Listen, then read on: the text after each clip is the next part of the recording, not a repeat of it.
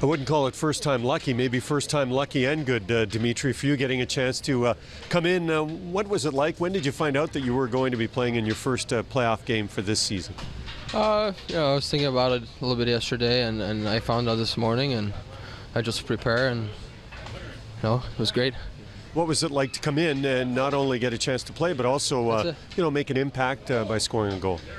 Yeah, you know, it just I knew what I had to do, and I was I was ready for for the last three weeks or four weeks, how long we plan playoffs, and and it just it just happened that we had had a good shift, a couple good shifts, and and you know a couple bounces, and and uh, end up in the net. Is it easy to jump in because of the pace of the playoffs, maybe compared to the regular season? Yeah, uh, it's way faster, and it took me a couple of shifts to look around and then uh, get used to it, but I think we did a great job.